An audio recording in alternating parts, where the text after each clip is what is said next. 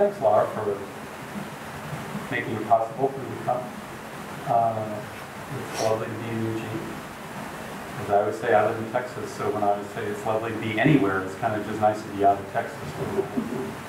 Uh, I'm going to start by uh, introducing myself a bit, um, not out of um, self-indulgence, I hope, but to give you some sense of how I came to be sitting here.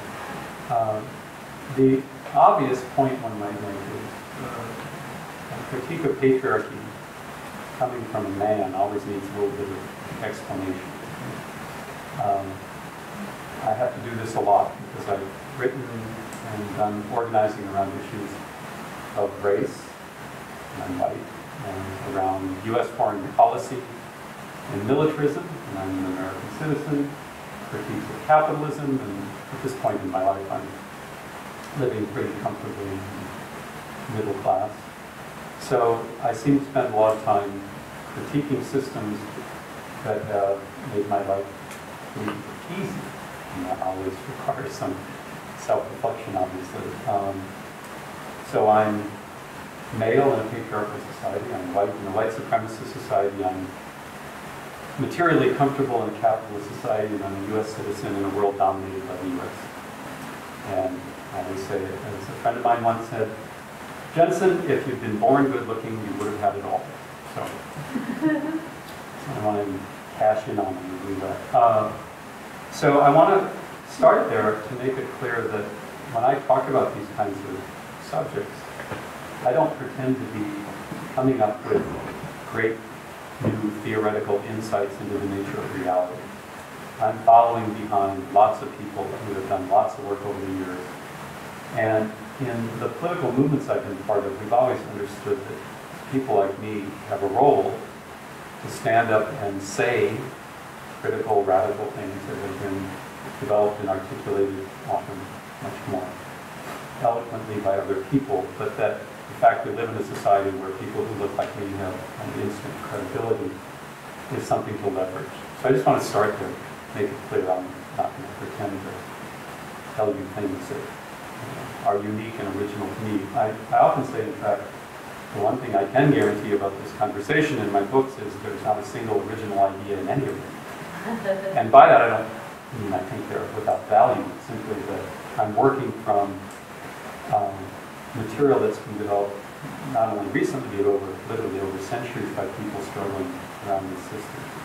Uh, if I add anything to it, what I think I might be providing is simply a way of thinking about things, organizing, uh, putting things in plain language.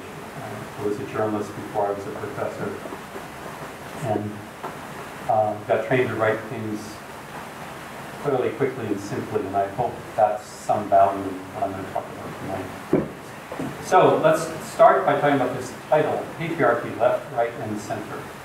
Uh, implied in that, obviously, is that uh, wherever you go in contemporary America, and you will find a patriarchal society, no matter what the political orientation of people there. And I think that's always been the case and remains the case even in 2019. And clearly, there have been all sorts of advances in the struggle against patriarchy. I was born in 1958. In many ways, the world is a much more progressive place around the sex-gender question today than when I was born. Uh, but it's also true that that patriarchal system is as deeply embedded today as it was then. And while there have been advances, there's also been issues on which we've lost ground. I'll talk a little bit about one of those. So patriarchy is a word that people will push back against. They, they might say, well, yeah, there's some still problems with sexism, but patriarchy, well, that's a term for history. That's a term to describe some point in American history long gone. Or maybe it's a term to describe some more overtly sexist society somewhere else. But I want to talk about patriarchy in the context of the United States. So the first thing, of course, is to ask, what do we mean by the term? And I'm going to read some definitions because I think often we don't think enough about what we mean by the term.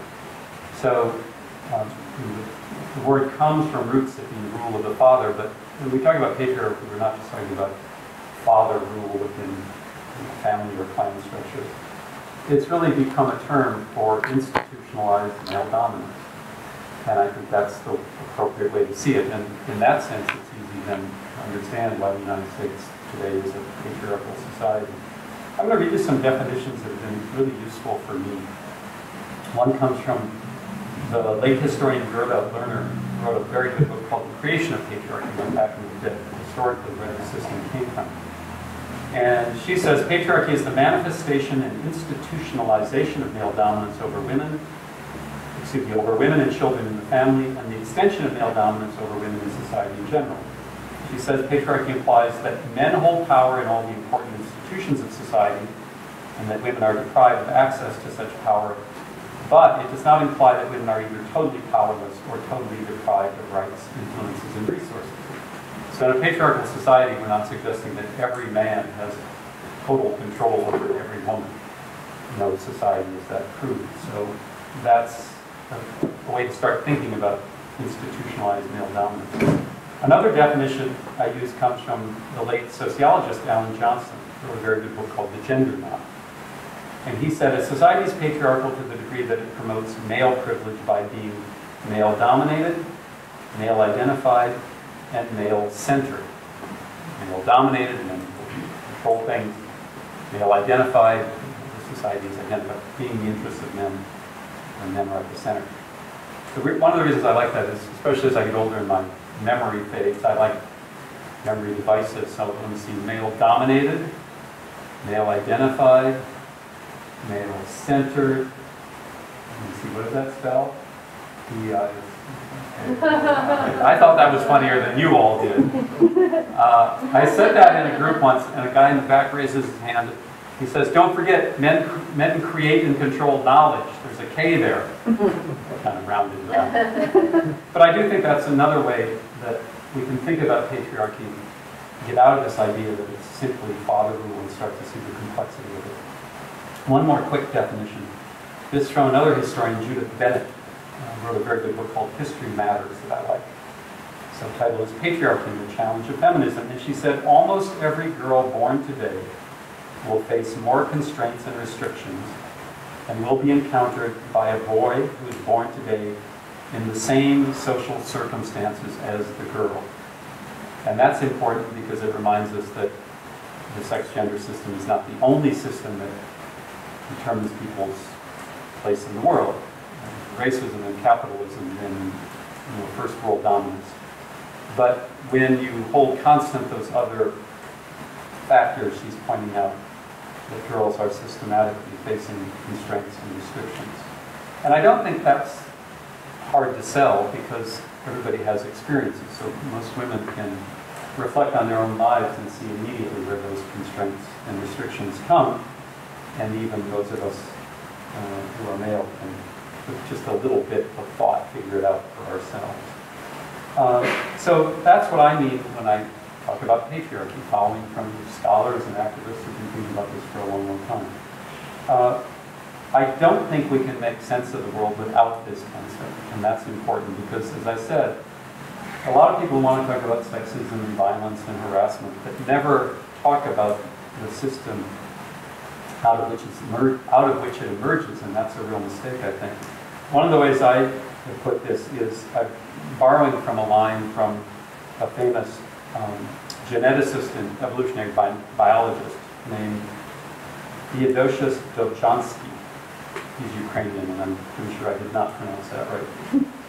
But he's uh, probably one of the greatest evolutionary biologists of the 20th century. And the line he's most famous for is nothing in biology makes sense except in the light of evolution. There's no way to be a biologist, to talk sensibly about biology without it, without evolutionary theory. And so if you adapt that, I think we can say nothing in sex gender politics makes sense except in the light of patriarchy. You take patriarchy out, and it's hard to make sense of that system. Now, um, I'm going to go on, obviously, and talk about feminism. My own roots are in feminism going back 30 years when I started graduate school and stumbled into this way of thinking that really changed my own life. Uh, but I'll leave that maybe for conversation, because we all have a kind of story about how we first understood this stuff. But let me move on and, and then talk about left, right, and center. You know, how do we make sense of patriarchy in this culture uh, across the political spectrum? Uh, and I'm going to start with the center. It's been on my mind the last few days, especially um, because of an American Psychological Association report that some of you may have been aware of because it got a little bit of news coverage. So this is called the uh, APA, that's the main group that um, organizes psychologists in this country. The APA guidelines for the psychological practice with boys and men. So it's a set of guidelines for how practicing therapists, psychologists, psychiatrists, and such should understand these questions in dealing with clients who are boys and men. It Came out in August in 2018, and it got a little bit of play in the news far beyond what most APA reports get, because it talked about this concept of toxic masculinity and how responsible psychological professionals should be aware of these things in treating boys and men. Uh, I'm going to use this as an example of the center because if you read the report, and it's available online, in its 31 pages, you will find only four uses of the word patriarchy or patriarchal, and they're mostly sort of marginal uses. 31 pages, only four times will you see the word patriarchal. Uh, but there's no real explication of what term means. There's no sense that there's a system out there. It's an example of the places in the culture where people do take seriously the question of gender politics and its effect on people, in this case psychologically, but never really get at the underlying system. Um, so again, talking about the way toxic masculinity, this idea that the way we socialize boys into being a man, includes all sorts of practices and postures that are not only detrimental to girls and women, the most obvious one being violence, but also detrimental to boys and men themselves, that there are negative psychological outcomes. The most obvious ones are, uh, the, the, phrase they use in the report is restrictive emotionality. I like that. Psych psychologists always come up with terms to confuse us. So, restrictive emotionality. Now, most of us who were raised male in this culture know what that means, yes? At some point we were taught not to express the full range of human feelings out of fear of being labeled as weak. Of course, women know about this too because they deal with the consequences sometimes of that restrictive emotionality. So there's all that kind of language in this uh, report, but no sense of the system out of which it comes. And so I think the, the center, whatever the center means these days, uh, the political spectrum in this country is now so distorted beyond recognition that the words right, left, and center sometimes are even hard to understand. Sorry, I'm trying to turn it off. That's okay. Um, but he, any, I was thinking of the, the biblical admonition about let he, I think the phrase is, let he who has not sinned throw the first stone.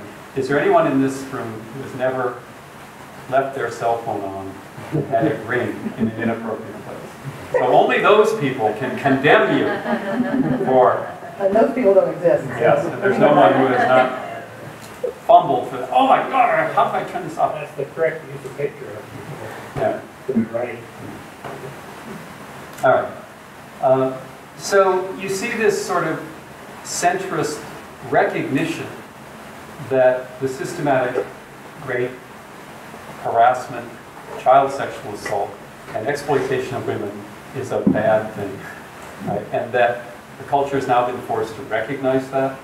It's not just the Me Too movement, it's just that steady, this is in some sense progress, where issues that were once considered uh, marginal usually a problem for an individual person, not societal in nature, are now being wrestled with in new ways.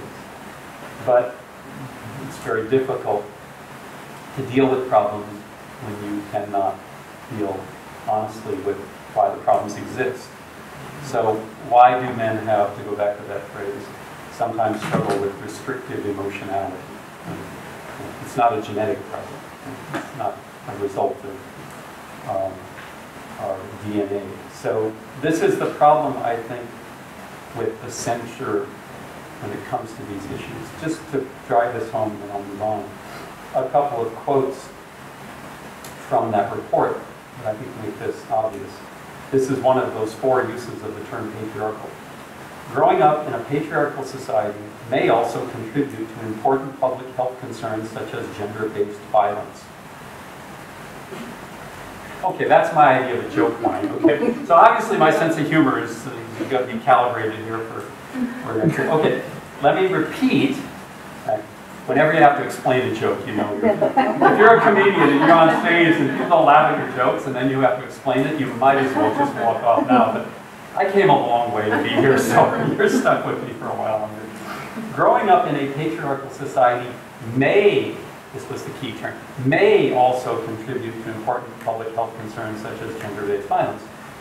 Does anybody in the room think that growing up in a patriarchal society may have something to do with gender-based violence? Or could we dispatch with the may, right? I mean, this is the kind of fear you can see percolating through this center, centrist kind of approach.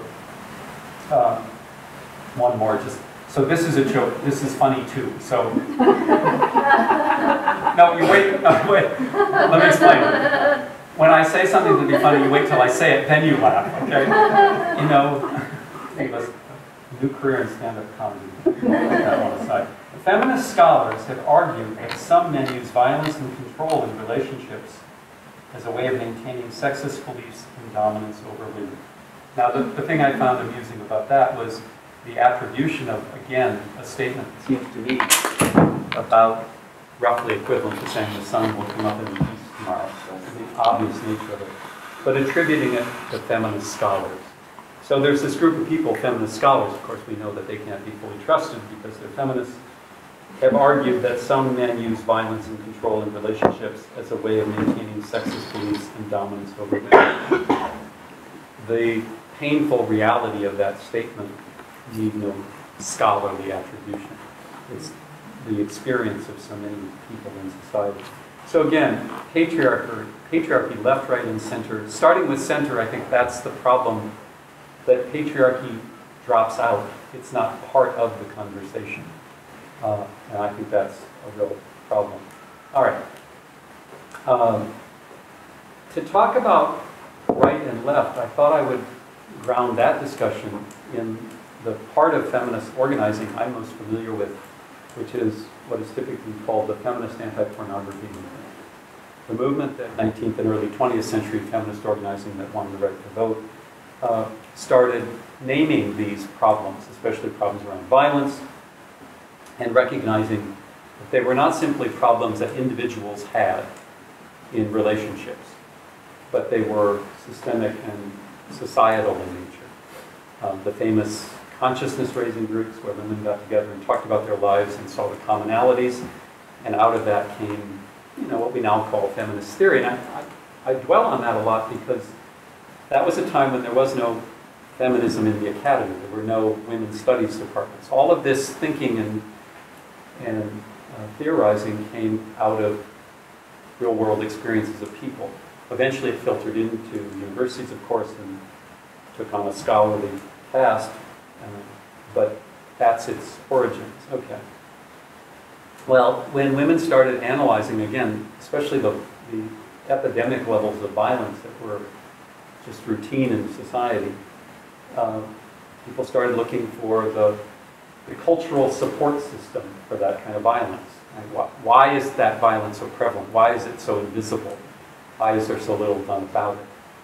And not surprisingly, women, feminists, early feminists started looking at mass media because in a mass mediated society, that's part of that cultural support system. So there were early feminist critiques of Hollywood movies, of television, of advertising. All of that cultural mass mediated production was subject to critique. Eventually also the, at the time, the uh, emerging pornography industry. So in the 1970s, pornography was moving from what had been a fairly marginal media genre, largely underground, to a more open and culturally acceptable. This was what they sometimes call the golden age of porn, when porn moved into mainstream movie theaters and all of a sudden was part of the society. So that feminist critique of pornography, which is most associated with um, Andrea Dworkin, uh, for my money, one of the most important feminist writers, and in fact, one of the great writers more generally in the United States in the last half of the 20th century. Well, what is this feminist critique of pornography? Most of you in the room are aware of it, but to summarize it, I would say that if you had to put it into a bumper sticker, the feminist critique of pornography is that, contrary to what many people want to say, pornography is not just sex on film. It's not just ordinary, average, everyday, quote unquote, normal sexual activity that you see reflected in culture made into a movie. In fact, I, I think this was Andrea's, Andrea Dworkin's uh, central insight that pornography is sex in the context of domination and subordination. It is the, erotic, the eroticization, the sexualization of domination and subordination. That if you actually look at pornography, you look at the actual images in it, what you will see is a distinct pattern of the sexualizing of domination and subordination. The primary dynamic in what we typically call heterosexual or straight porn, which is the vast majority of the market, that is pornography that depicts primarily heterosexual sex between men and women, uh, that the main domination subordination dynamic is male over female. That's the kind of animating dynamic that gives pornography its charge. And the pattern that Andrea identified, and which has continued to be the pattern, is of that eroticizing of male domination and female subordination. Now, it's important to note that that is not the only domination subordination dynamic that's eroticized in pornography. If you look at the content of porn, now, a quick footnote here. Obviously, pornography is a term that describes a whole lot of different kinds of sexually explicit material. When I talk about pornography, I'm talking about the pornography industry, the vast majority of images in the world produced by an industry is profit driven. And in the conversation I'm going to have right now, I'm talking about the heterosexual porn industry, which is the vast majority of that pornography. And the vast majority of the consumers of that are men, heterosexual men. So that's what we mean when we talk about pornography. And the interesting thing about the pornography industry is that it not only sexualizes male domination and female subordination, it sexualizes every other domination subordination dynamic you can imagine. One of the primary ones is race. Pornography is, without a, a question, the most overtly racist mass media genre in this country today. And I'm not talking about subtle racist trends that you need a PhD in English to figure out. I'm talking about blunt, stereotypical racist, excuse me, racist images uh, that really mirror the worst of the, the virulent white supremacy of the culture. Right? But it's not just gender, it's not just race. Any dynamic where there is a group with more power and a group with less will be sexualized in pornography. It's often said, and it's in my experience after 30 years of work, true, that any domination subordination dynamic you can imagine has already been pornographized. It's been made into pornography, up to and including uh, what I was thought was kind of the most chilling example was disability pornography, using pornography using primarily women who are disabled. Right, so this, this domination, subordination dynamic sexualized. Right, that's the core of the feminist critique of pornography. It's a, a deep and rich critique that we could talk about in other ways, but I just want to stay on those images, which are then, of course, produced in the pornography industry with real people. Uh, and the patterns of exploitation of women in pornography are well established as well. All right. So here's a critique of a sexist, racist um, media genre. Let's look at how the left react to that. And by the left, I mean the non-feminist left, the traditional left that focuses on things like a critique of capitalism, a critique of imperialism, the left. So the left traditionally has been critical of those kinds of practices. Uh, What has been the general reaction of the left to the feminist critique of pornography? Well, it has not been supported. Now, by that, I don't mean every single leftist is, you know, pro-pornography. I'm talking about a pattern.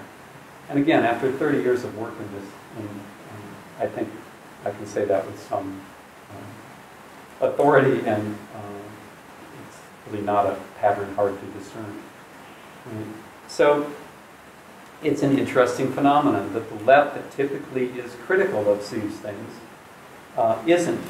So if you go into a left organization, a left setting, a left discussion group these days, uh, you would find nobody defending the racism and sexism in Hollywood movies.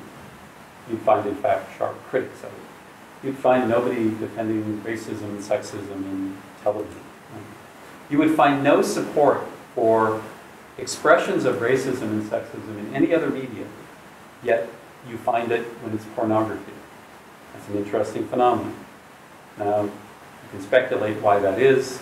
It might be that left organizations, especially those dominated by men, simply don't want to give up pornography because pornography is a source of sexual stimulation. Um, whatever one thinks about it, it works. And there are patterns of habitual use of pornography that often lead men to be very defensive when you challenge their pornography use.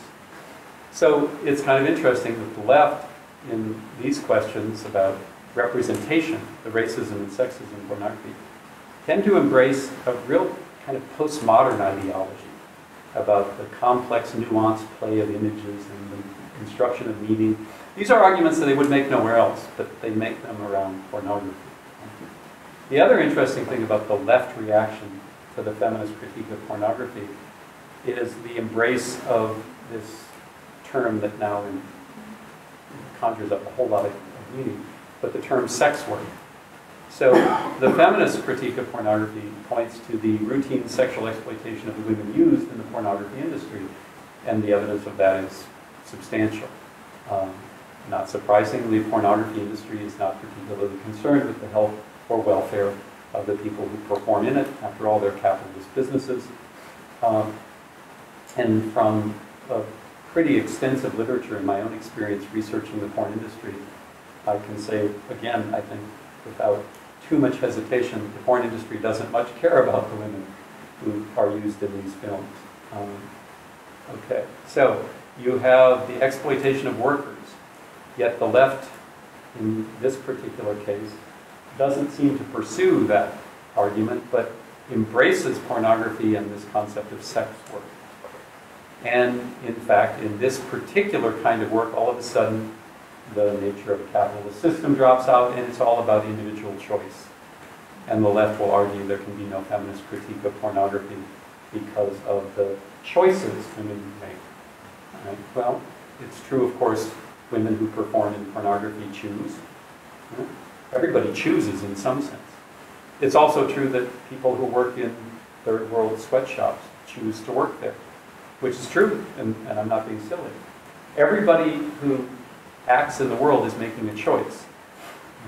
The question, of course, is what are the conditions under which people choose? What kind of options do they have? And the left has always prided itself on not being wrapped up in the capitalist ideology of individual choice to justify the exploitation of workers, but to resist that. So, uh, in this one case again, what would, one would expect to be a pattern of left analysis goes out the window. And why is that? Well, here's my simple answer. The left can't give up on patriarchy. The patriarchy, which is deeply embedded in the fabric of this culture, is difficult for the center to give up on. It's difficult for the left to give up on. And so the left does all sorts of theoretical and ideological dances to avoid that.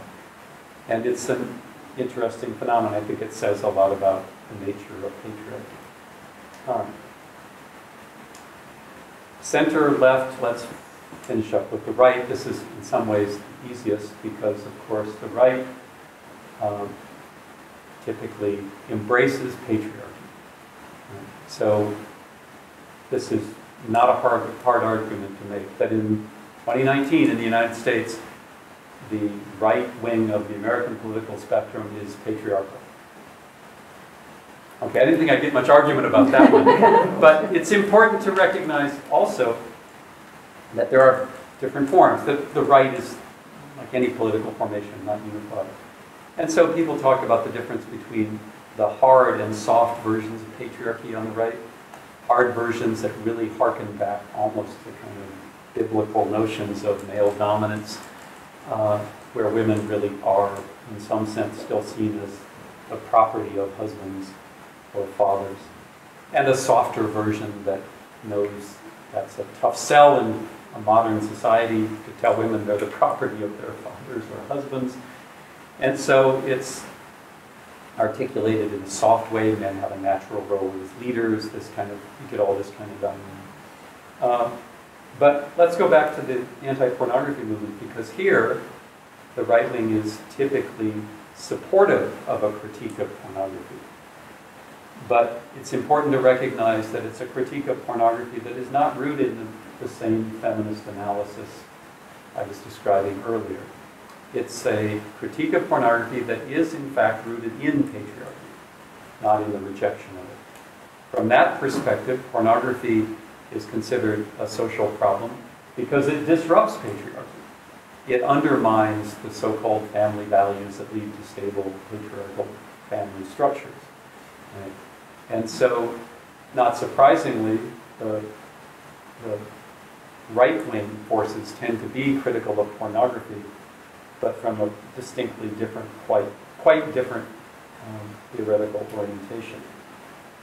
Uh, there is one footnote to that, which is interesting. I talked to some of you earlier about it. Uh, the one thing the right is, is politically savvy, and sometimes much more so than the left.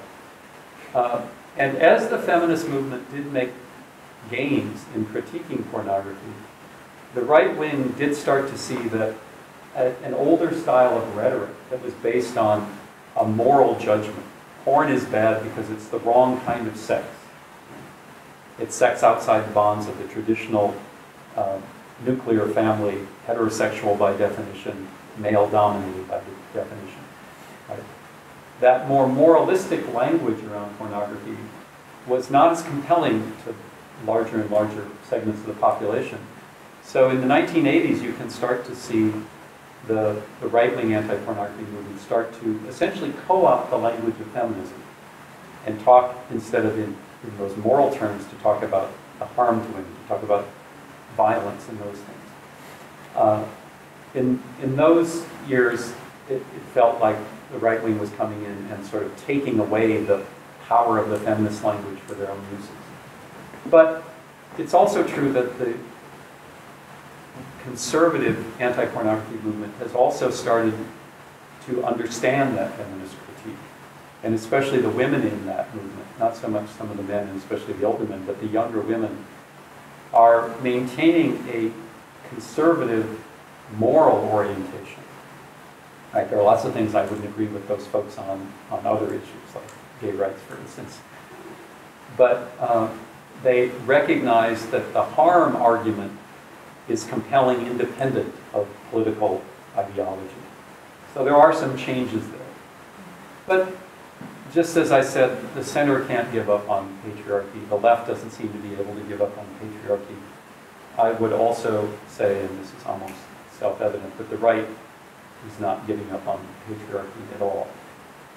So you have a society that is, as I said, made gains not only around sex gender, but also around race and all sorts of other things in the last 50 years as a result of the grassroots movements that we typically you know, group in this concept of the 60s. But of course, more complex than that in moving forward. But it is still the case that it is appropriate in 2019 to argue that the United States is a patriarchal society. And one possible response to that, and I often hear this response, especially from younger people, is listen, that's an old-fashioned term. Right? Whether or not that term makes any sense, it, it's a, a turnoff. Right? Younger people don't want to hear that. It's associated with a previous generation. But I think it's important to hold on to for the very same reason that if you want to understand racism in the United States, if you want to be a part of a movement for racial justice, and I'm going to make the assumption everybody here in the room agrees with that, you cannot go forward successfully in that project of trying to achieve racial justice in the United States without the concept of white supremacy. You cannot make sense of why racism exists, about why the dominant white culture is so resistant to certain kinds of changes without that concept of white supremacy. And again, much like patriarchy, white supremacy has liberal and conservative versions of it. It's not a, a single ideology. You want to understand problems we have in the sex gender system? I don't see how you can do it without patriarchy. If you want to understand the problems we have with racism, you can't do it without white supremacy. If you want to understand the problems of economic inequality, can you do that without talking about capitalism? You, in other words, you can't talk about these phenomenon without understanding the system out of which they emerge. And the one that increasingly is on our minds, I think, is the domination subordination dynamic not only within the human family, which we've been talking about around these key, these four key notions of race, or gender, race, class, and nationality, the, the world system and the inequality in that. Those are problems within the human family. Problems in relationships between humans.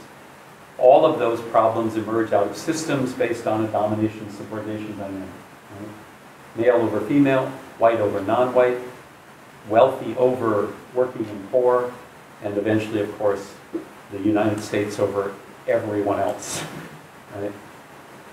Sexism, racism, class divisions, imperialism, all these terms we need to understand the system to make sense of how to identify the causes of the problems and potential solutions. What we haven't talked about, of course, is the uh, overarching problem of the relationship between the human family and the larger living world. Again, a, a, a set of problems that particularly called the environmental problems, but are far more expansive than we can capture the word environmental. Uh, what a friend of mine used to call the multiple cascading ecological crises that we now face. Multiple crises, not just climate change, not just soil erosion, not just plastic in the ocean. Multiple crises cascading, falling out in ways that cannot be predicted.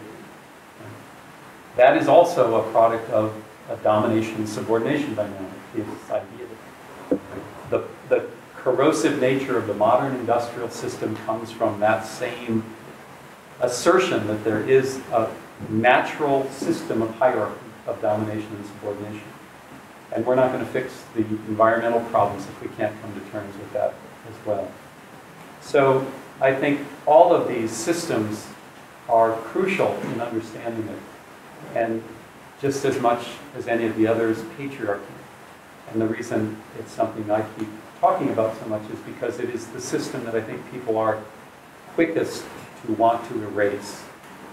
They'll deal with sexism, they'll deal with sexual violence, but they won't want to deal with that system. And I think that tells us how deeply embedded, how deeply woven into the fabric of our lives patriarchy is, which in some ways should not be surprising because in purely in historical terms, it's the system of the ones we've been naming that goes back the furthest in human history.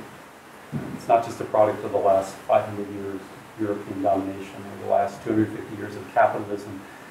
It's a product of thousands of years, probably four to 6,000 years of patriarchy. Now, you might say to yourself, well, there you go, Jensen, it was kind of a downer lecture, and now you managed to end on a really depressing note. So let me pull this back for the upbeat ending. Is there anybody ready for the upbeat ending? Yeah. Okay, upbeat ending. So, if you think about that, that these patriarchal systems have been present on the planet Not in every square inch of the planet. Obviously, you know, history is complex. But we've been dealing with patriarchy for, let's say, the last 5,000 years. It seems kind of overwhelming, you know, how are you going to deal with that? It's important to remember that there was history before patriarchy. That human societies existed for about 95% of our evolutionary history, probably more like 98, 99% of our evolutionary history in pre-patriarchal societies. That when people say, well, patriarchy is inevitable, it's just the way we are, men are stronger, women are this, you've heard all of these things. That is simply not historically accurate. Through the whole hunting and gathering history of the human species, which is about 95% of our evolutionary history as Homo sapiens, 99% of our evolutionary history in the genus Homo. Every human being on the planet were foragers, living in hunting-gathering societies, typically band-level societies, probably in the range of 15 to 50 people, certainly no more than 100. These were small-scale societies that were far more egalitarian than anything we live with in the modern world. Societies in which what we call patriarchy simply didn't exist. It didn't mean people were angels. It didn't mean people didn't do bad things to each other. It didn't mean people weren't capable of violence. It means that that institutionalized male dominance had not yet emerged. Right? So the upbeat ending is that when people say, well, patriarchy is inevitable, it is just natural, the obvious conclusion of a basic anthropology course is no, it's not. It's a fairly recent phenomenon if you take the whole broad sweep of human history which means it's a product of human choices. And of course, anything that we have chosen, we can choose differently. That's the upbeat ending. I, that's where people are supposed to get to leap to your feet cheering. Okay.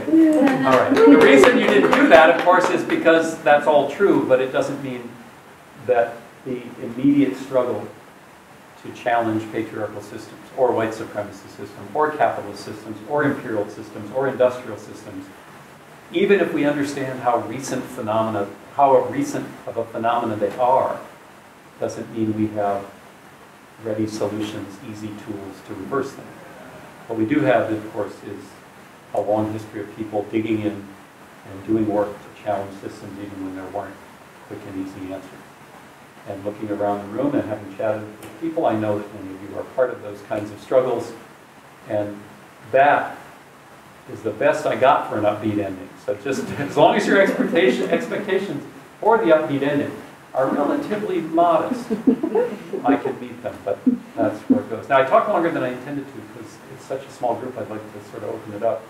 Um, and why don't we do that at this point? So, uh, I'm happy to answer questions, but there's a lot of people in this room doing work on issues of their own that run the gamut of all these things.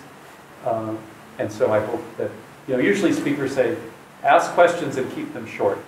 No, you don't have to ask questions and you don't have to keep it short. We can just have a conversation. I'm happy to focus on these questions around patriarchy, but these other issues are as salient as ever, and so let's kind of open it up and just use the time for however you want to. Yeah. And why don't we introduce ourselves since we're so Yeah. small? I'm, I'm Kari Johnson. I'm a, I'm a muralist and medicine. But, um, Have you seen her stuff? Is that a muralist? muralist, yeah, artist. Okay, just hold on for a second. Is she any good? Yeah. Good, congratulations. Okay, go ahead, I'm sorry. Um, so, you know, Trump got elected and then there was these women's marches and they were, they were giants. I mean, they were the biggest marches I've ever seen in Eugene, and I'm sure the biggest marches that have ever happened in this little town. And both of our big main arterials, 67th Street, were completely jammed with people.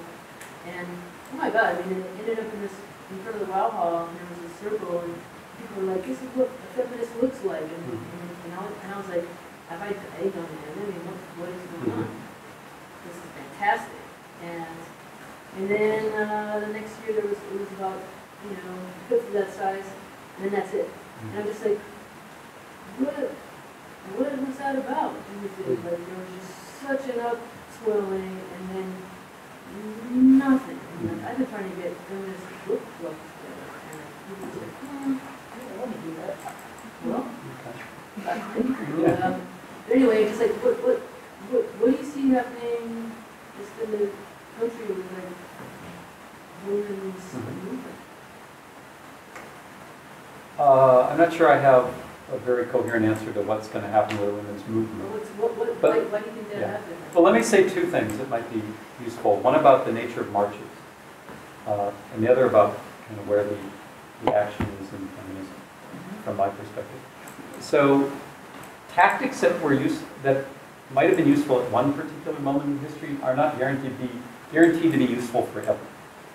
And marches clearly now at this point have limited utility. Uh, the example I always use is um, the February 15th, 2003, day of political action to uh, stop the U.S. invasion of Iraq. So some of you younger than me weren't you know, aware of that. But before the United States, Remember it well. uh, that before the United States invaded Iraq in March of 2003, on February 15th, there was the largest day of coordinated political activity in the history of the world. There were worldwide 10 to 15 million people in the streets, all with one single message to the administration of George W. Bush. A U.S. invasion of Iraq is illegal, immoral, and unacceptable. Uh, I live in Austin, Texas. There were 10,000 people out that day. It, it dwarfed my wildest imagination. I had been part of many rallies in Austin prior to that around U.S. militarism, especially in the Middle East. We usually drew 23 people and we all knew each other. You know, everybody had that experience. And all of a sudden, there's this huge outpouring. Right? It was, it was an incredible feat of organizing to get a worldwide demonstration like that. Right? Okay, what was the effect of it? It had no effect. From my perspective, and I was the MC in Austin that day, and I remember being conflicted because I was up there, and when you're the MC of a rally, you're trying to get people excited. And in the back of my mind, I, I said to myself, this will not have an effect, and it didn't. The reason is because the people in power learn, as we learn as grassroots activists, they learn how to counter techniques. And at that point, a large expression in the, in the streets of dissatisfaction with an administration policy didn't really mean much if the administration knew that when the day was over, people were going to go home. And there was no coordinated action to follow. And that those people were not likely to take risks to challenge that. Marches that are part of a long-standing structure of organizations to pursue a, a, an objective, and that include a fair number of people willing to take risks, risks of physical, you know, violence, risks of imprisonment. That's what scares people, mm-hmm. right? And so those marches in other settings did work. They didn't work that time. So marches are largely theater these days, and if that's all they are, then you know, I, I don't say you should stay home. I, I'm not against marches. The real question is, what are they? How are they bringing people together? And here we're up against some real problems that people are financially strapped, they have less free time, and we are the most propagandized and narcotized people in the history of the world. And I don't mean that hyperbolically. The United States population is the most propagandized. There's more money spent to control the way we think than ever in the history of the world. And we are the most narcotized. This is the most informa- or entertainment saturated society in the history of the world. A friend of mine, an organizer, used to say, Do you know why there'll be no revolution in America? No, why, Andrew? Because of Netflix. Right? And there's, there's, it's a joke, but there's something to that. Yes? Okay. How do you overcome that? Well, a feminist book club is a good idea. You get people together, small, connected. It's the, the internet is a lovely tool for sharing information. It's not really a very good tool for getting to know people. There's all sorts of things that people are struggling to understand. That's the best I have, and that's very kind of superficial analysis. But I think all of that's still pretty important. Where the women's movement is going is a big question because I, I didn't talk about this, but the anti-pornography movement is a good example where there was opposition to that from outside of feminism. There was also opposition to the feminist anti-pornography movement from within feminism. And in fact, in the time I've been involved in this, starting in 1988 till today, the anti-pornography movement went from being a vibrant part of mainstream feminism. People were interested in it. They were often persuaded by the argument to where now it is a fairly marginal position. And in academic women's studies, you will not find a lot of work asking why are we saturated with the most the most sexist and racist images in the history of the world, right? Saturated to the point NOW where there is instant access. And there's very little scholarly attention to that in the academy and very little attention to it in mainstream feminist organizations like now or something. Right? Well, there, I, I'm, I don't think I'm, I mean, I have my own ideas about why that might be. Uh, but I think, you know, I go back. The, the, the kinds of challenges to patriarchy that make men nervous are dangerous in some ways. Right? And people tend to shy away from them, I think. Our, our, our political climate right now, there are some patriarchal men in high positions that are becoming afraid that there could be a change brewing um, from a standpoint of, um, um, there's a lot of women who are standing up and uh, to start uh, campaigning to, for Sure. The 2020. So I think even though there's been a lot of suppression and the way the mainstream media spins everything, which is to decredit women and energy is changing, we may have, you know, this, this movement may get going and, you know, we could, no doubt from my mind, I think we probably will have a, a woman president in 2020, from my point of view. And so I think there are men who are afraid and they're going to do everything they can to attack. And maybe we have a strong enough core of change that's going to happen. And, you know, we're still going to be, most businesses are going to still be dominated by patriarchy. But, you know, I think there's, there's a shift beginning. So there's, you know, a shift has been underway for some time. Uh, We've gone an entire hour with not mentioning the man whose name shall but not be named. Uh, But let's, let's sort of bring that because you talked about, but let's talk a little bit about what we learned about this from the Trump era. right? Uh, So that even in the Republican Party prior to Trump, there was an understanding that you could be a patriarchal and white supremacist, but you had to watch yourself. right? And that there were, you know, so-called dog whistle politics, coded terms to signal to either a white audience or a male audience that while you were being polite, you really did understand that white boys should run the world. Uh, and of course, that was washed away with Trump. And what did we find? We found that actually overt white supremacy and racism, or white supremacy and patriarchy, are still alive and well in the hearts of many who were just waiting for permission to stop being polite. Uh, and so both things are true. What you say is true. There's, an, uh, in some sense, probably an unstoppable advance of women in business, politics, education, all sorts of other uh, arenas, which one can hope eventually will lead to greater female representation. Uh, it's happened in other societies. There's no reason it can't happen here. It's also true that patriarchy and white supremacy, and of course capitalism, always fight back. And I think for me, the moment I'm still trying to wrestle with is the Kavanaugh hearings and how to make sense of them, not just because they were kind of emotionally draining, uh, and not just because many of us watched Brett Kavanaugh in his petulant performance that seemed to, the minute he opened his mouth, end his possibility of being advanced to the Supreme Court.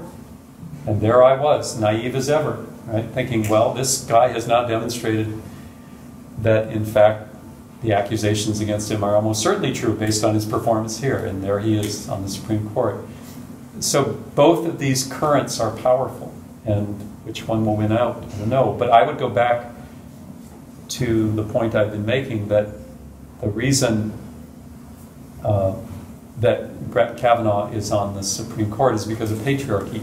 And we do ourselves no favors in trying to create a more just society around questions of sex gender by burying that, thinking it's too radical. We, we've seen at this point what being liberal does. That is a liberal position that tries to avoid too deep a systemic analysis, too deep a critique. Uh, It has not carried the day. And I think um, I walked away from those hearings just more sure of that than ever. I just want to say Yeah. something about that, because I watched it too, that, um, trying to think of the guy's name, that was very theatrical, uh, that is now the, uh, so I can't think of his name. Uh, It was a senator who, uh, Republican senator who. uh, Oh, Lindsey Graham. Lindsey Graham. So he was the crucial point. What happened was, um, the, the lady, so, uh, Ford. yeah, um, Christine Ford. she did a very awesome testimony, you know, there's a lot of things you can attack on it. And then, uh, of course, uh, Yeah. I'm sorry, I'm not gonna. Graham. I'll get this. Um, what he did in his theatrics is he changed the tone. So what Ford had set, a lot of people felt that was the truth. He did a theatrical thing, took everything away, took all the energy of people's attention, and everyone forgot what Ford just did. And then Kavanaugh went in with, well, it's okay because he's protecting his image, so he can go off like that, but, um, that was no way typically acceptable uh, to do that, but because Republicans had already Yeah. agreed that they were gonna pass him through, but I think it's the theatrics of Graham that set the whole tone and changed it to make it slide right through. Otherwise, it wouldn't have went. Otherwise, he'd still be on the Supreme Court, I'm afraid. But anyway, go ahead. It Uh, gets to, he's getting to what is a surface issue, I Yeah. think, and that gets to truth.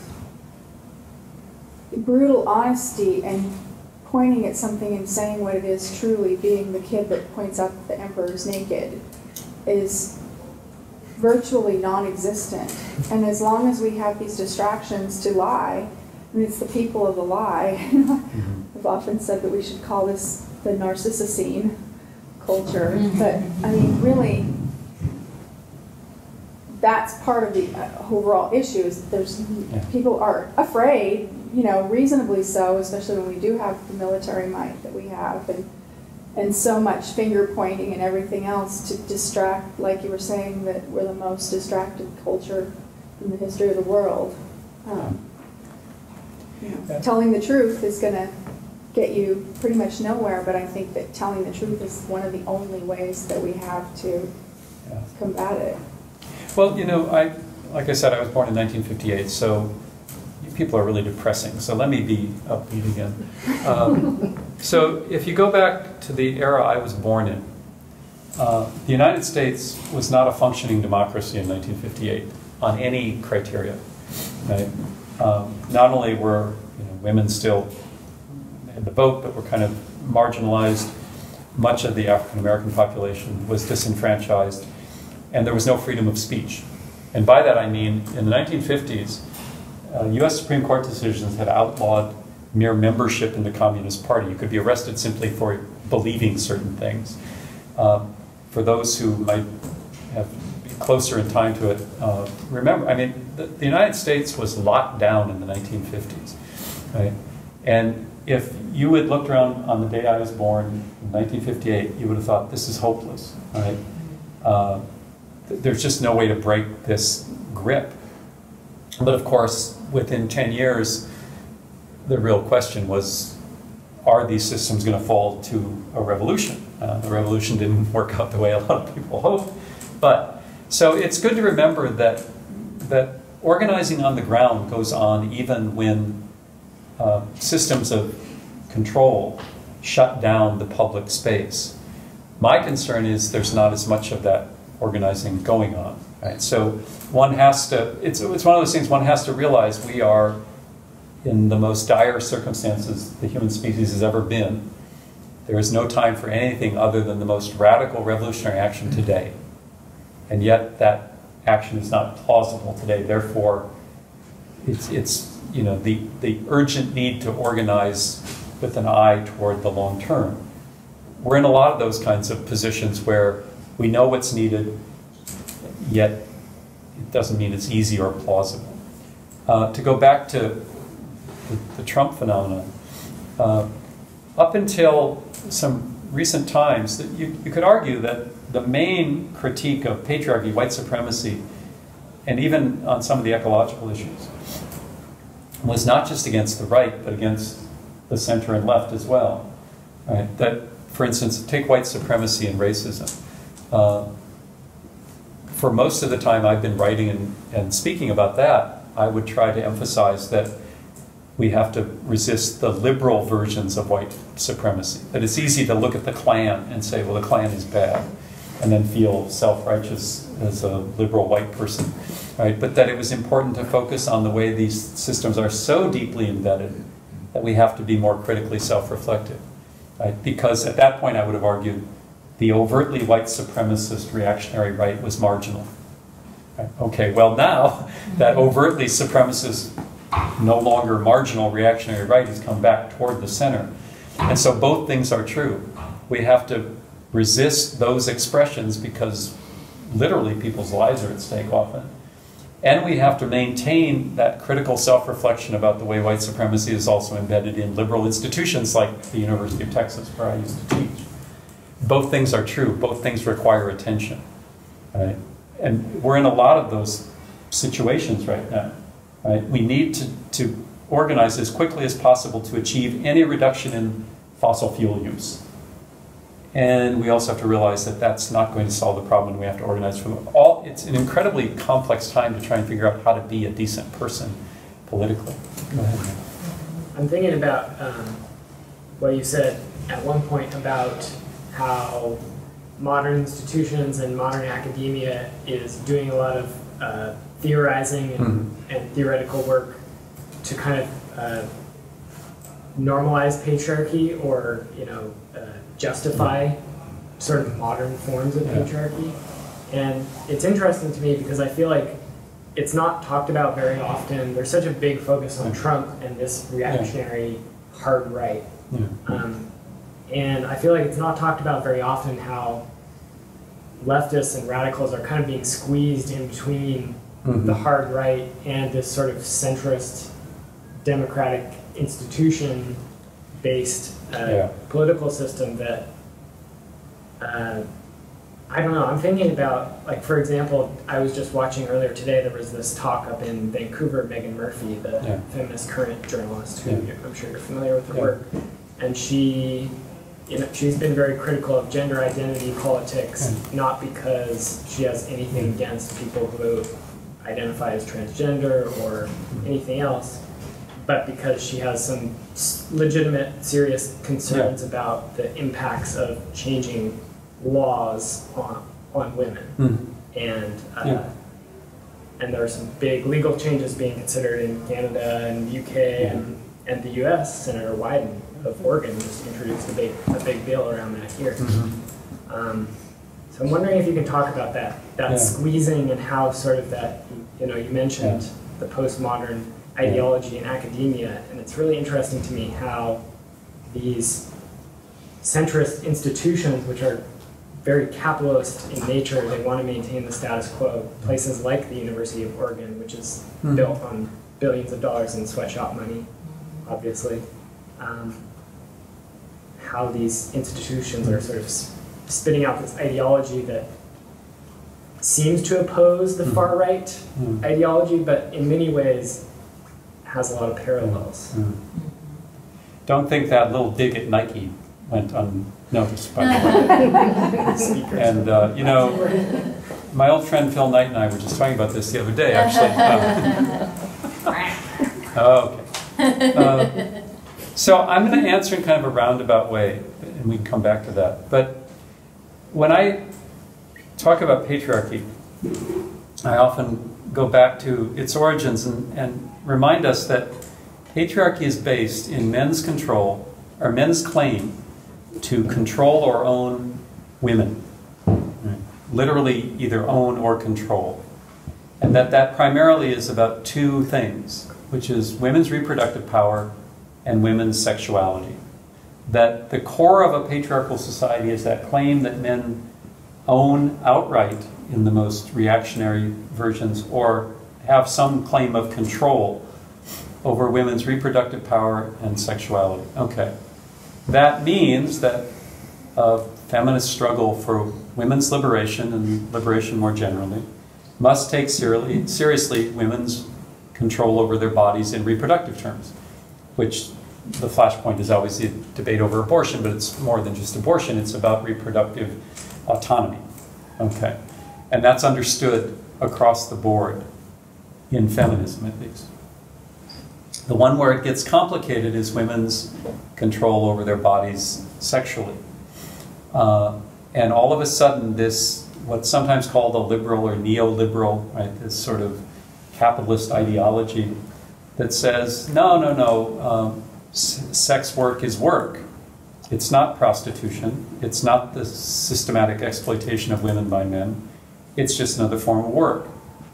Now, that has now not only the you know, rallying cry of men who want to continue to have access through women in prostitution, it's the rallying cry in a lot of academic feminism. right? And uh, it's an interesting phenomenon that the, the support for reproductive rights is maintained, but on this question of sexuality, all of a sudden there's a, a turn away from a structural critique of men's systematic exploitation of women and an embrace of liberal dogma. Why is that? I, all I can assume is that that is the place where men are going to push back the most, and it's the easiest place then to abandon the struggle. Mm-hmm. And I've had lots of debates with lots of people, some of whom are my friends who don't agree with me on this.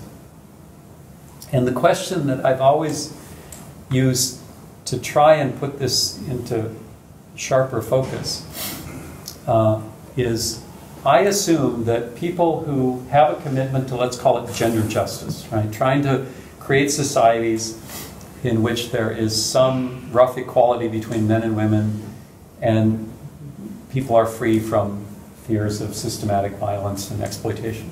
I think most people would endorse that. Okay. The simple question is can you imagine a society with any modicum of gender justice if one group of people in that society, men, right, have the right to buy and sell or rent women for sexual pleasure? In other words, if you have a condition in a society that says, I can rent you for, for my sexual pleasure, right? and obviously, you know, there's prostitution, male to male prostitution, there's a very small amount of prostitution where, you know, women buy men, but the vast majority of prostitution is men buying women. okay? That's the, the sort of core of prostitution. Can you imagine a society achieving any meaningful level of gender justice if that condition is in place where I can buy you? I can't imagine it, right? It's a defining characteristic of society when that relationship is accepted. So, apart from all of the debates, the empirical debates about what are the conditions under which women really work in prostitution, which I think also argue for the elimination of prostitution, right? How in the world does one imagine a society with any kind of justice as long as that endures? That's the kind of core question we have to ask. But when you ask that question, the answers are disturbing because you're forced to look around and say, okay, there is an incredible amount of this assumption of the naturalness of exploitation all around us. And it's kind of overwhelming. And as you point out, universities are largely centrist, even sometimes, depending on how you want to call them, kind of conservative institutions.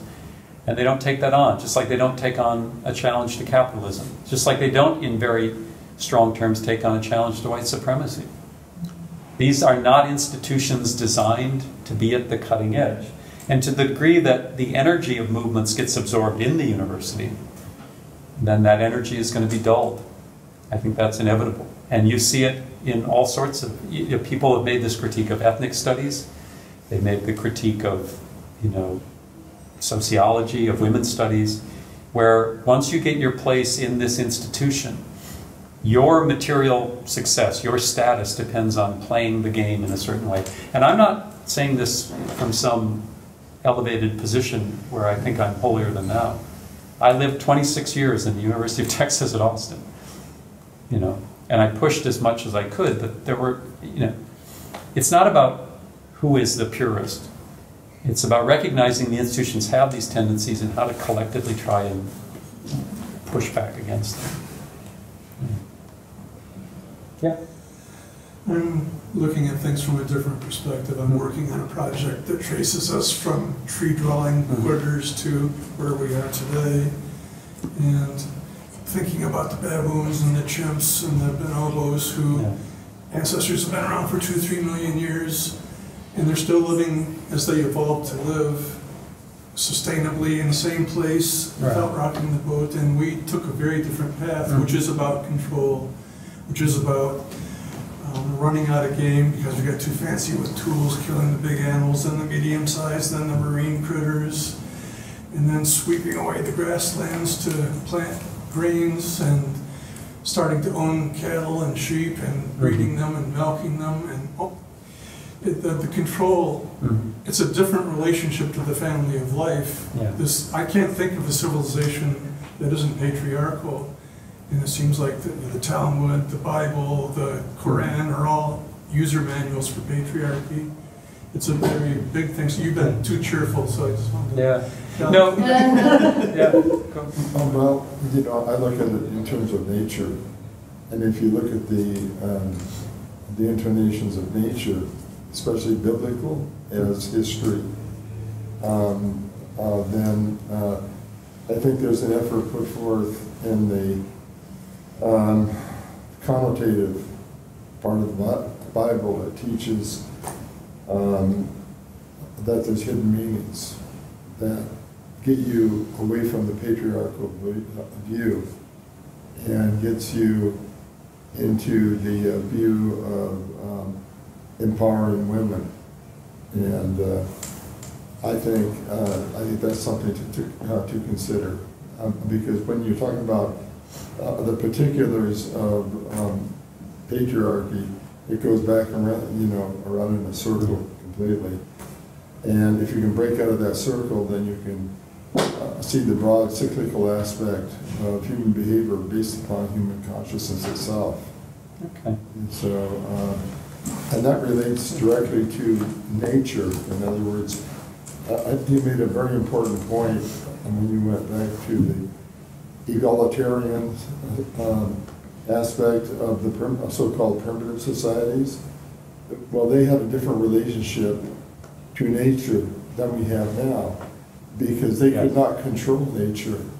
And so they had to become part of nature where we're put in the position of controlling nature and it's built into our uh, consciousness, which is the, uh, the intellect versus the intuitive aspect of our consciousness. And we've forgotten the intuitive aspect because we don't need it. It's about man against man now. It used to be man against nature. And uh, uh, uh, that was kind of the uh, reflection that uh, bound uh, these societies together in egalitarian terms. So Yeah, let me- that that would be my observation. Yeah, let me, both of those comments got me thinking about some things, so let me try and make sense of that. So first of all, it's always good when you're talking about human societies to recognize, just as there is a lot of individual variation in the human species, no one of us is the same, there's also a lot of cultural variation in the human species. And even in the era of human history, this last 5,000 years, let's say, in which patriarchy emerged, it doesn't mean every single society has been patriarchal or they've been patriarchal in the same way. There are always kind of holdouts and outliers. But it's important to recognize, and I think you know this is true, that the, the direction of history shifted, right? Uh, and I think your point is well taken that we have to look at when when did that when it, uh, the, the way I always pose the question is what is the key fault line in human history where we started really screwing up and for me and I think you might agree it's the invention of agriculture this is Okay, you might, It's domestication of fire.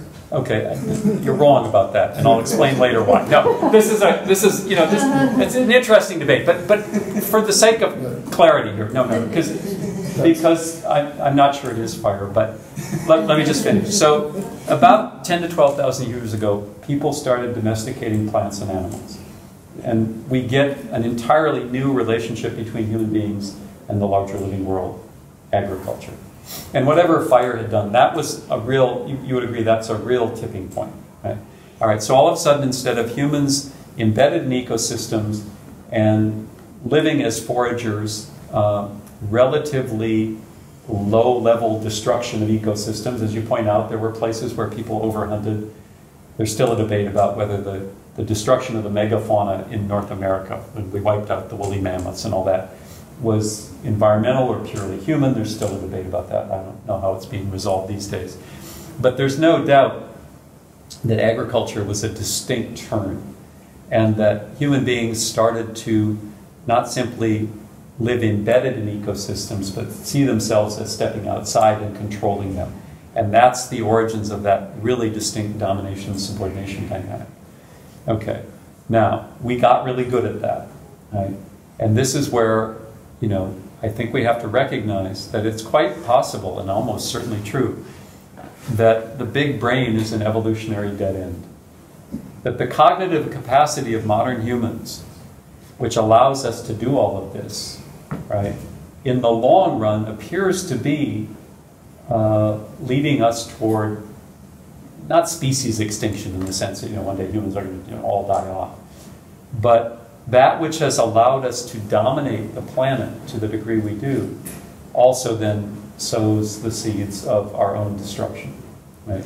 And that domination subordination dynamic, amplified by our cognitive capacities, our linguistic capacities, the ability to not only change through biological evolution but cultural evolution, all of this stuff that's been written about a lot, has put us in this bizarre position where we now have the capacity to destroy the ability of the ecosystems in which we live to maintain our own lives.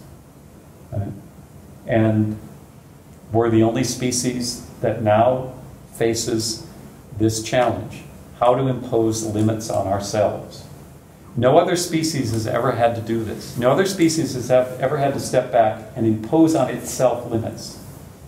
The limits came from the system. Right? Too many deer, predators, disease, culled the, the population. Right? I'm not saying I have some secret eugenics program to cull the, I'm not, uh-huh. this isn't going any weird direction. Oh, but if you think about it in that way, we face the most daunting task of organic life on this planet to do what no other species has ever had to do, which is limit our consumption, primarily, you could say, our consumption of carbon. Because life is, you know, a, friend of mine, uh, Wes Jackson, who founded something called the Land Institute, which is an important institute for sustainable ag research. Wes always says, life is the scramble for energy-rich carbon. That's what we do. That's what living things do. We go after carbon. And human beings got very good at it in ways that proved to be very destructive. And the first way we really got at it was through the, the stored energy in grain when we started domesticating grains. Uh, all of that puts it in a larger historical context. Your point is well taken, that it's a way of understanding just how dramatic the challenge we face is. And in some ways, how inadequately prepared we are for it, either socially or politically, economically, or even emotionally prepared for it. This stuff is, and this is where I think it's important not just to point to the CEO of Exxon or to the President of the United States, but to recognize we are all dealing with this at some level. And it is not just about systems, there is something about the nature of being an organic creature that goes after carbon. We like it. And by we, I mean everybody, not just the capitalists. It's part of being a carbon based creature. Well, there goes my, uh, I was still, I'm, you know, I'm, there's a long-term trajectory of this discussion which will end with the upbeat ending. Oh, You just, sure. you knocked the hell out of the wind out of it. Yeah, let's go, go ahead. Um, to bring it back to the patriarchy and pornography part, Mhm. um, I was wondering, like, I've noticed when I talk to people that are on the right, which, about pornography, which I do way more than anyone else, because they're literally the only ones that Yeah. listen, um, keeping certain buzzwords out of it. Yeah, See, like, we can have so much to agree upon, so long as I don't say like these three words, yeah, patriarchy being one of them. yeah. But um, is there any particular argument you've heard or discussion you've had that plays better to them? Because I know, next door, I've got, there's a church and they've got a whole anti-porn thing for men. Yeah, But then I read the materials and it's all just so self-centered. yeah. I'm like, yeah, were you ever considered, Yeah. but is, to- in your experience with Yeah. talking to all kinds of people, is there any sort of, the, the best common ground that might open up Yeah, that to more than just, well, it's harmful to men and it's harmful to your wife and God hates it, Yeah. right?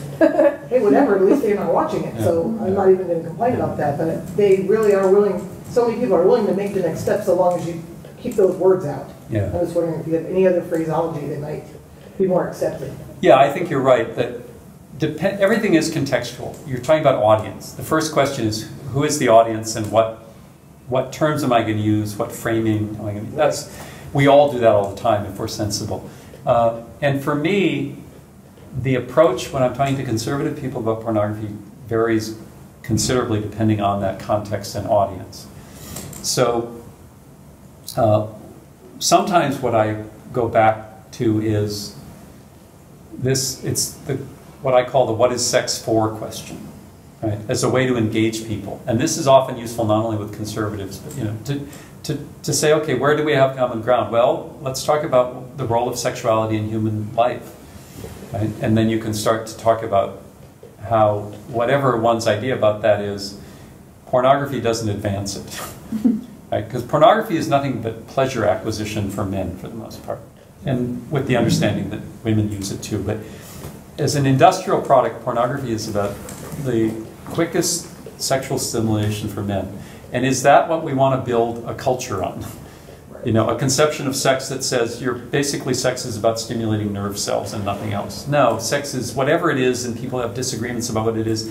It's a much more rich and varied experience than that. So sometimes I go in through that because then instead of becoming moralistic in the traditional sense of heterosexual sex good, gay sex bad, married sex good, not married bad, you can start to open up common ground on, you know, what kind of in our hearts we're all straining to understand, which is this incredibly powerful, magical experience of being sexual. Why is it so important to us? Okay, that's one thing. Uh, in other settings, when I'm in those, uh, especially those all male gatherings, where I can sense that what the men are saying is you shouldn't use porn or you shouldn't use prostitution, prostitutes, and you shouldn't go to strip bars because you have to take your place as the head of the family. And if you do those things, it undermines your ability to be a moral man running his family. Then I tend to go directly at that and say, so you believe you have this right to control the, the children and women in your life. Where does that right come from, right? And, and there you can get to religious debates where they say, well, it's biblical. And you say, well, let's look at the, the complexity of Scripture and looks, let's look at different differences in interpretation and let's separate out what is cultural and what is really theological because that's one place where things get confusing people take cultural practice and give them or claim to give them theological grounding when it's not theology it's just cultural practices okay so in those places i go pretty hard at it uh, but let me give you just a, a, a very specific example i was speaking at the uh, National Coalition on Sexual Ex- or National Committee on Sexual Exploitation. I can't remember what. It's the predominantly conservative anti-pornography group in Washington D.C. that does a lot of this work. And because its uh, day-to-day operations are really run by a bunch of fairly young women, they're much more hospitable to the feminist critique than the old guard of older men. And so they invite us into their organizing and they see that collaboration as important. And so I was invited to speak at the conference where I could see those women in the audience. And then I saw a lot of the old guard and the older men. And I went hard at that, on a critique of patriarchy, because the assumption there was we were all concerned about this. We had different solutions, but we were able to talk. And why did I do that? One is to put in front of those older guys primarily um, a critique that they should listen to. right? That if they want to be good men and be anti-porn, they also have to think about this deeper. And I had them in a space where I could do that because they were treed up; they couldn't leave. Right? And at the same time, I was signaling to the younger women who come from a conservative position that it's okay to talk about this. See, we can do this. And we can do it in front of the guys that you're a little nervous about doing it in front of. Right? And I was able to do that because I'm me. Right. I'm a middle-aged white guy who looks like he just cashed out of the military, you know, I can, and so that's all contextual. It's, you couldn't have done that No. talk, right? You would have, you know, been rushed out of the room probably, okay. So I think it, you know, for me, rhetoric and political organizing is always about that, and, and strategies change depending on time and place. Um, it's good to avoid jargon, but sometimes it's hard to argue for a position without a word like patriarchy. I don't really consider patriarchy jargon in the sense that it's, you know, meant to obscure. It's just a challenging term. You don't lead with it, but eventually I think you have to get there. Right? At least I think we do. Once they've listened for a while, you can Yeah. bring it up. Yeah, But If you say it off the bat, Yeah. they just, yeah, Or go to the definition of yeah, it. yeah. Mm-hmm. right? Yeah. Just say the Yeah. definition rather Yeah. than the word itself. Yeah, so- can That's get what I do with socialism a lot, like, you know, talk about what it actually is without saying the actual Yeah, word, and people will totally agree with me. And then I say the word, and they're like, oh my God, it's the evilest thing. It's so weird. I think there's a lot of hard conversations that, if one is going to be honest, are inevitable, but don't need to be the initial way you establish common ground with people. It's really on my mind because I just came from 10 days in Kansas, uh, working with the Land Institute, which it looked like some of you were aware of. Uh, and we took a little driving tour. It's a lot of fun. I got to see where Wes grew up, and you know, and I was in places where, if I had started, you know, the critique of white supremacy, or it, it would have been out the door, right? Uh, but you look for common ground, and you look for common enemies. You know, like Yeah, I'm good with that. who do we, who do we all dislike? Well, you know, rich corporate CEOs are a pretty good target these days. You know, you can sort of bond with them and that, uh, all sorts of things. But I don't have any great insights beyond what you've already figured out. Uh, It's- I found it so much easier Yeah. to, they will, to talk to them than to liberals. Yeah. Which, coming from a liberal Yeah. left background, it's just been very Yeah. frustrating. I, that, to, to go back to that what is sex for question, I didn't, totally using that. I didn't articulate why I came to that question. Uh, the original feminist anti-pornography movement was very careful not to make moral claims. Right. In fact, Catharine MacKinnon wrote a famous article called Not a Moral Issue. Right? And I, underst- I understand why that, at that moment, that was important. It was to distinguish the feminist critique from the long-standing conservative religious critique, which did make a very narrow moral argument. But I started thinking about, you know, all politics has a moral basis to it. Right? If you say you're anti-capitalist, it's because you have a certain moral conception of what it means to be human in relation to others, and capitalism intervenes in that. So a critique of capitalism is political, but it's also a deeply moral position. And it's just a, a recognition that all politics is based in conceptions of what it means to be human, what it means to be in right relation with other people, and so all politics is moral. And I started to think that there was a way we were limiting ourselves by not talking about moral questions, except not moral in that narrow moralistic Right. finger wagging, you shouldn't be attracted to men and you shouldn't have sex unless you're married and you know this and that. But the reality that there is a everybody has a sexual morality in the sense that everybody has a sense of what sex what role sex plays in their lives.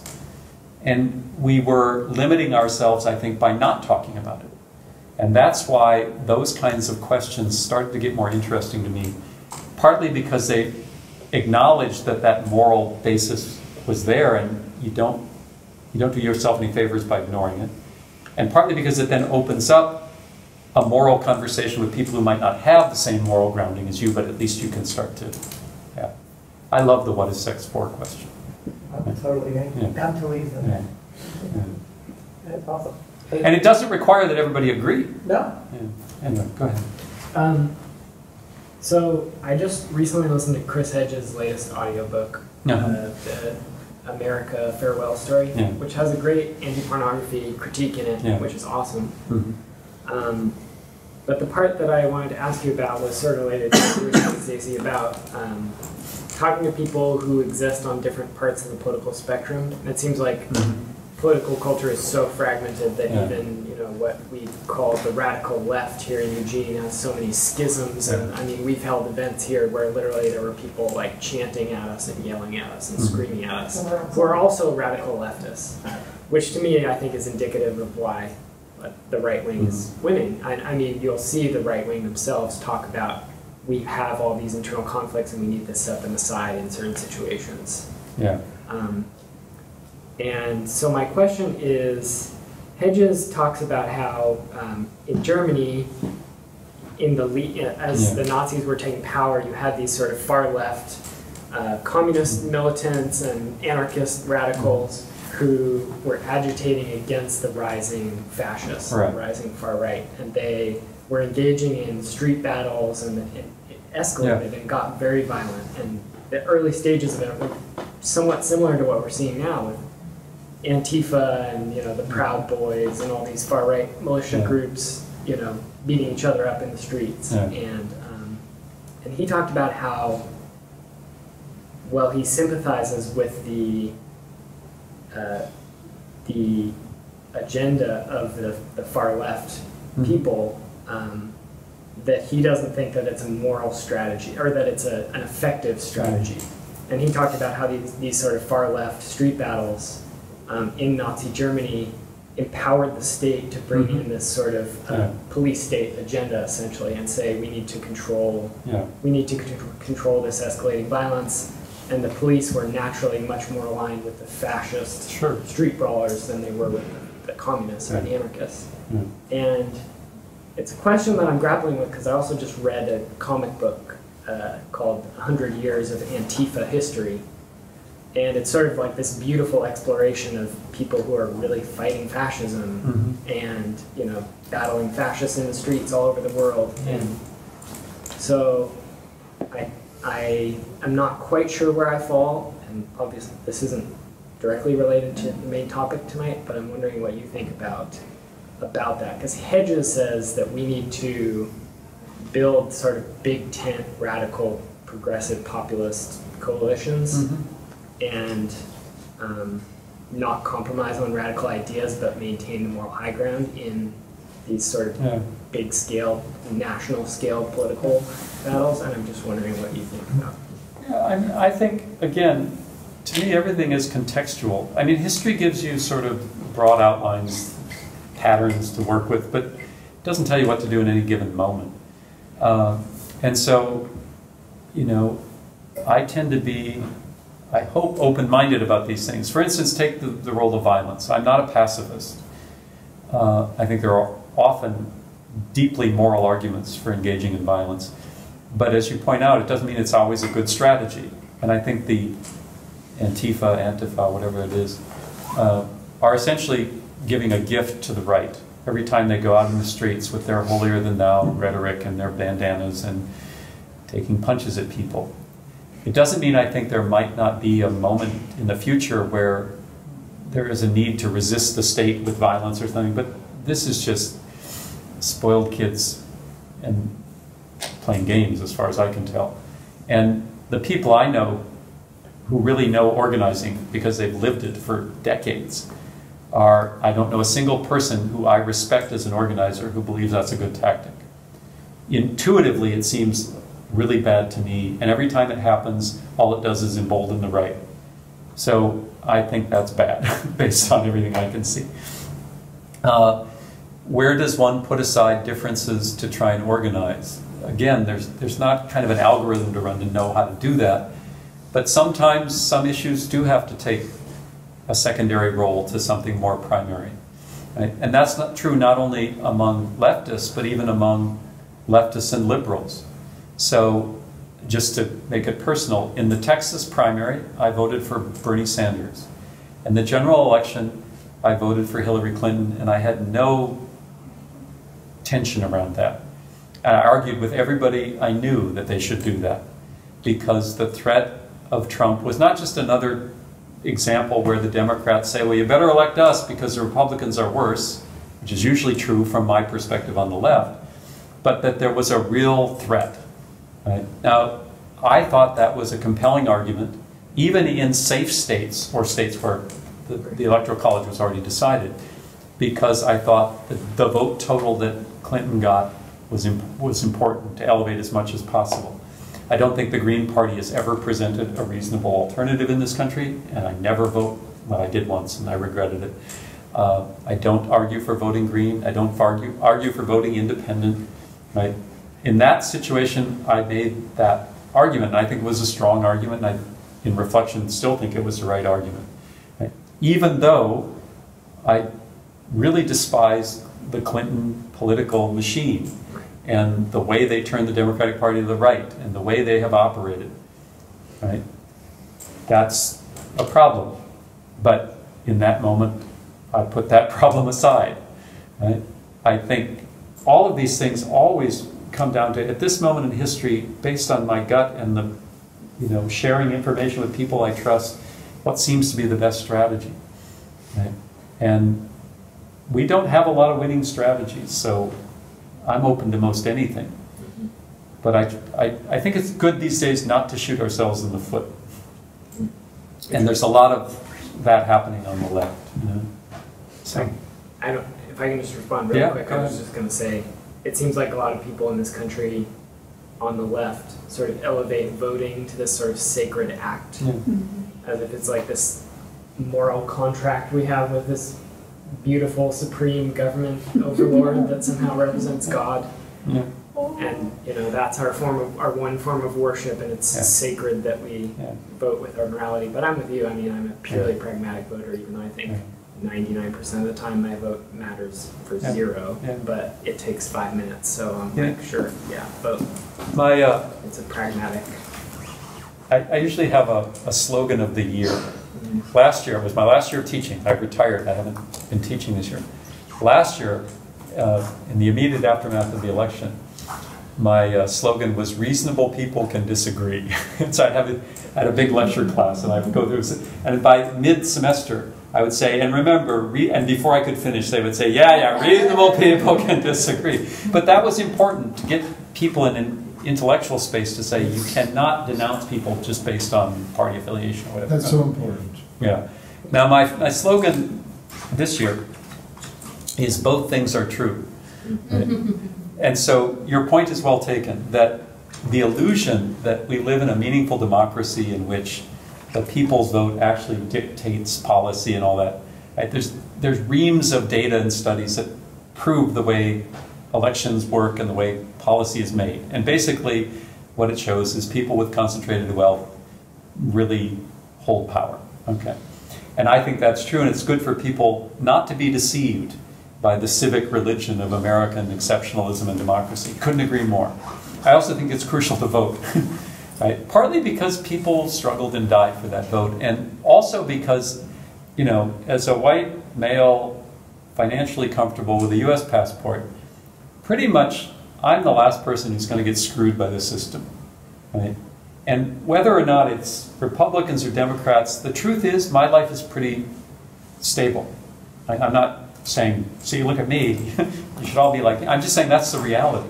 That's not true of everybody. And the difference between those two parties in the direct experience that many people have, people who are on food stamps, you know, people who may or may not be incarcerated and have to deal, those things matter. And I don't think I have the right to say to people, voting's a sham, man. Fuck it, man. You shouldn't vote, man. It's all a sham. Well, yes, in the big picture, you're, I think that's true. But in people's real lives, the consequences of those elections can be quite dramatic. And I don't think I have the right to just use, and so both things are true, and I think that's what you're saying. And people don't deal well with both things are true. If both things are true, both things are relevant to the decision you make. You can't just say, well, that's bullshit, it doesn't matter. No, it does matter, it's true. And that's, you know, it's not easy being human, and it's not any easier today than ever before. Worse. I guess I want to share that, uh, in my thinking, you know, getting down to the roots of patriarchy and the power that it holds is uh, men identifying with their role. Some roles have a lot of power Mhm. invested in, and so, uh, of course, so what I have worked in my life is letting go of roles, up to some good, my own sense of uh, trying to connect to myself. Sure. Which, um, you know, I guess you could call it grief work. Um, Mhm. and, um, but then I noticed that people who are strongly identified with their roles, say man, they are actually objectifying themselves to perform that role. And I think when you do objectify yourself, it's easy, you know, with the monetary system, is that these other people, employees, or, uh, you know, you, they are objects too. And so you learn to control Yeah. objects, and one of the things is, you've internalized the status quo, Yeah. and you're the object. And so I just see the repetition of identifying yourself as a role, and if Yeah. you gain power, you get to lord that, dominate that over other people, Yeah. if you give yourself to it. So, I'm, I'm going to use that point, which I, I think is important, to also kind of wrap it up. I always figure two hours is, nobody should be forced to listen to me for two hours. Uh, And then, you know, if people want to hang around, we can chat, but does that seem okay to- to wrap up the formal part? Uh, So, you just said something very important, which is that the, the motivation for men to embrace a feminist analysis to challenge patriarchy is complex because uh, uh, in some ways patriarchy delivers to us certain kinds of benefits at least short-term material benefits right and so it's interesting to think about if you go to men and say here's why you should embrace a feminist even a radical feminist critique of patriarchy it doesn't, uh, at first glance, look like an easy sell. So the way I would say it, which echoes some of what you said, is that there are always two arguments to make to men.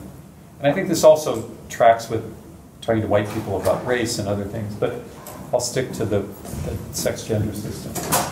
If a man were to ask me, why should I take seriously a feminist analysis, I would say there are two, two arguments. One is the argument from justice right? that the world will be a more just place if men embrace feminism. And that's just a way of saying if you believe the things you claim to believe, because everybody has principles around this concept of justice, you know, equality, solidarity, you know. All of us believe, unless we're really sociopaths, that in fact all human beings are fundamentally the same in a claim to dignity. Yeah? My claim to dignity is no greater than yours. So if you believe that, and, and it's really hard to imagine anybody articulating a, a disagreement there, right? that to be human in the world is to recognize that all 7.5 billion people have the same claim to dignity. That to make that plausible, there has to be some sort of rough equality. And that we know that human beings are social, and without a sense of solidarity, human life doesn't make much sense. Right? So if you claim, if you believe in the things you claim to believe in, you must embrace a feminist analysis if you want to make those real in the world. Let's call that the argument from justice. Okay? I don't know about you, but I have noticed that the argument from justice is not always 100% successful in motivating people to give up their allegiance to systems that give them material, short-term material s- gain. Okay. So there's got to be another argument, and that's what you were talking about. And it- it would be what I would call the argument from self-interest. That not only will an embrace of feminism make the world better for girls and women, your life will be better too.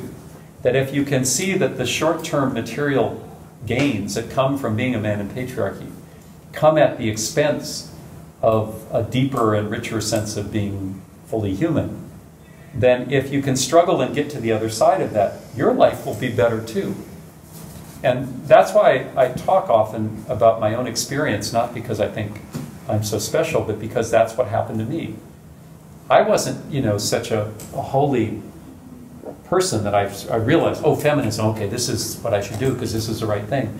I was in deep pain myself, struggling to be, you know, a stereotypical male in a culture, and I wasn't very good at it. And so that argument from self-interest is important as well, with one footnote, which is to recognize that when we start talking about the way that patriarchy limits and constrains men, like that psychological report did, we have to recognize that the struggles of girls and women are not equivalent to the struggles of boys and men. That patriarchy imposes constraints on men and boys in ways that are real and often incredibly damaging psychologically and physically as well, because men suffer violence at the hands of domineering men too. But they are not on the same scale as the injuries visited upon girls and women. And that it's important that when you are making claims about how men should, how men are hurt by patriarchy, which is true in certain ways, we don't engage in a kind of false equivalence. The, the, the line that captures that the best came from Margaret uh, Atwood, the Canadian writer.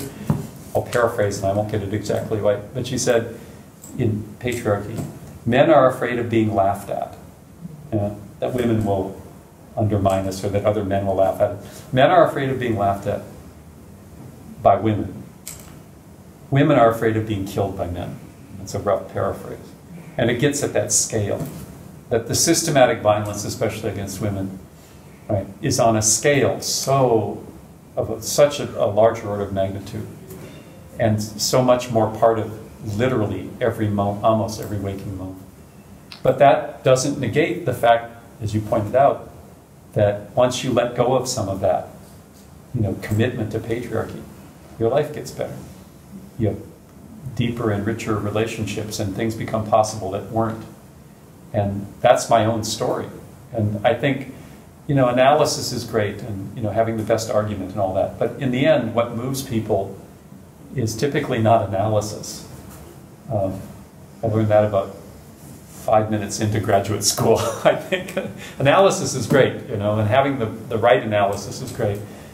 But what moves people is, uh, you know, our hearts, right? And that's most, I think, easily articulated through through stories, especially our own stories. So it's like moving mm-hmm. from living up in the Yeah. cognitive head down to the heart. Yeah.